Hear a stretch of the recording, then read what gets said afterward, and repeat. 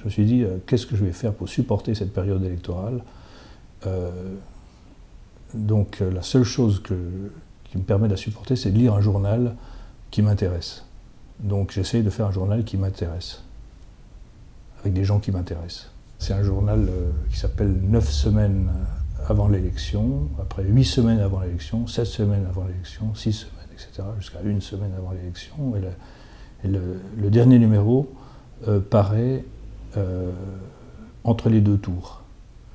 Et au fond, la seule directive qu'il y a dans ce journal, il y a à peu près 80 collaborateurs, beaucoup de dessinateurs, des écrivains, des philosophes, euh, des chercheurs, des essayistes, des gens du monde entier, hein, c'est pas franco-français. La seule directive, c'est ne parler ni des candidats, ni des partis politiques. Donc de parler de la société, en fait. Ne pas, rentrer dans ces querelles partisanes, dans ces, dans ces, enfantillages, on peut dire.